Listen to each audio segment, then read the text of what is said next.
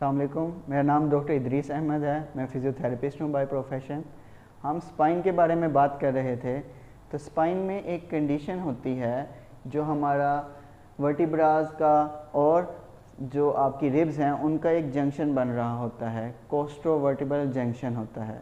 उस पर कई दफ़ा स्वेलिंग हो जाती है इन्फ्लेमेशन हो जाती है, किसी हार्ड वर्क की वजह से या गलत पोस्चर में सोने की वजह से, जिसे हम कोस्टोकोंड्राइटस कहते हैं।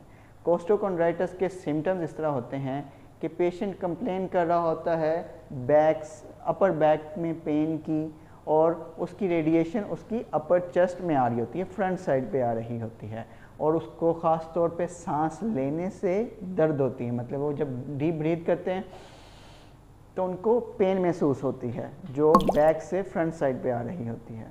इसमें बहुत सी एक्सरसाइजेज भी होती हैं और पोजीशन चेंजेस भी होती हैं जैसे हम इसकी ट्रीटमेंट कर सकते हैं।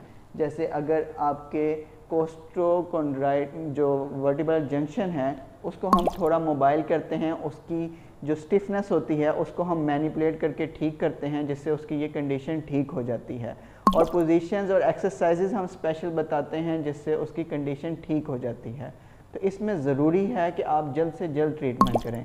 अगर ट्रीटमेंट लेट होता जाता है तो मसल जो हैं इसके अराउंड वो स्टिफ होने लग जाते हैं, वो आपकी आम को भी इफ़ेक्ट कर देते हैं और आपसे ऐसे बाजू उठाना, एक तरफ़ को झुकना, ये सारी प्रॉब्लम्स होने लग जाती हैं। तो अगर आपको इस तरह की कोई कंडीशन है तो आप मुझसे भी रबता कर सकते हैं या किसी और फिज़ियोथेरेपी से रबता कर सकते हैं, ताकि उसको डायग्नोज करके उसका जल्द से जल्द ट्रीटमेंट किया जा सके। अपना ख्याल रखिएगा और ये वीडियो की जिसको ज़रूरत है, उसके साथ लाजमी शेयर कीजिएगा। अल्लाह हाफिज़।